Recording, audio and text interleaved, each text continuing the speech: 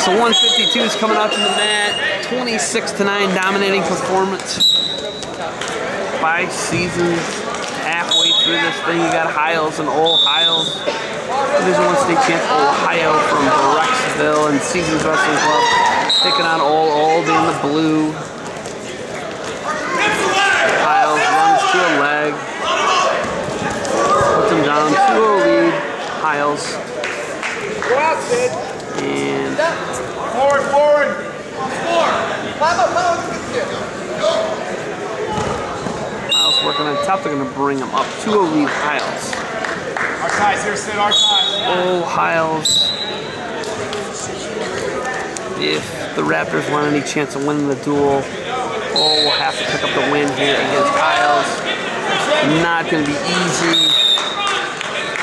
One on the push out. Hiles got a 3-0 lead on Ohl.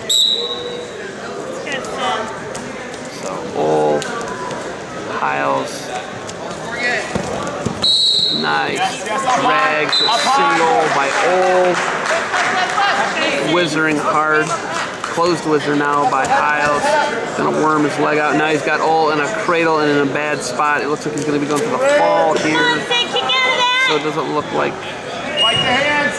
Raptors are gonna be able to get back in this thing with Ohl at least. Because they got two forfeits after this, so it's gonna be hard to win this dual for them.